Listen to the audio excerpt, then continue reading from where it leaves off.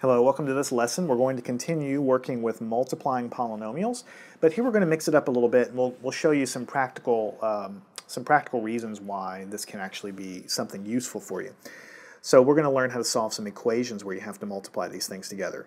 What if you have the equation x plus 2 times x minus 5, and that was equal to x minus 1 times x minus 3. Notice that there is an equal sign here, and there's x's on the left and there's x's on the right. And I ask you, solve this equation for x.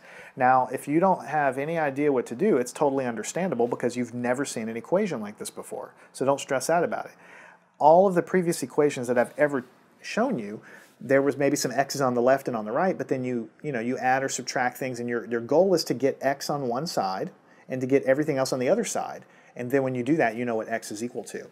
But here, x is wrapped up inside of these parentheses here, so it's hard to move x around.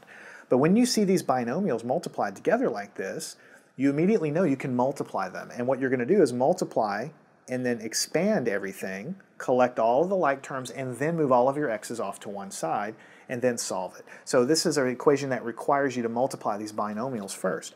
So x times x gives you x squared. Okay, and then x times negative 5 gives you negative 5x.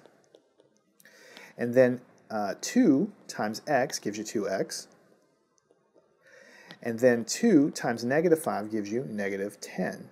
Okay? And then you have an equal sign right here.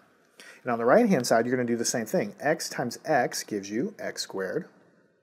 And then um, x times negative 3 is going to give you negative 3x. And then negative 1 times x